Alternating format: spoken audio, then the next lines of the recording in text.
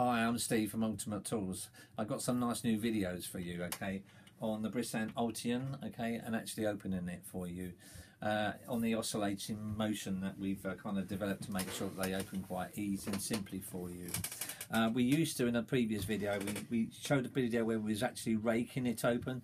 They will rake open, but the trouble is why we didn't pursue that because the tools were so fine and it was easy to bend them up and everything. So if you've watched a video like that, you can just ignore that or you like make your own tools and try yourself.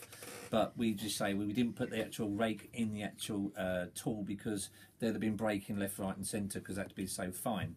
Now we're going to open this actual euro cylinder a random euro cylinder. Yeah.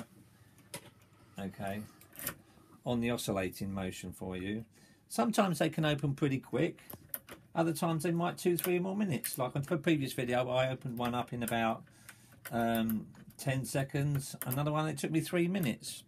It doesn't really matter. If you drop it again and start again, come from the back. Yeah, that one's actually gone now. Now, just to show you that, you know, normally I didn't use my glasses there, but I need a pair of glasses. Now we're going to actually lock this again. Take it out, lock it again. And just to show you that you have to go to that happy place in your head and you don't actually do what you do, we're going to pick up the bucket on the head. Have fun.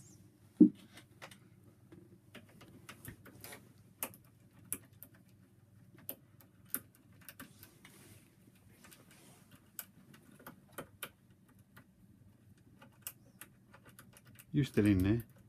Now I could talk obviously but I sound a bit echoey here so I'm going to drop again and just keep oscillating and I'm trying not to think about it but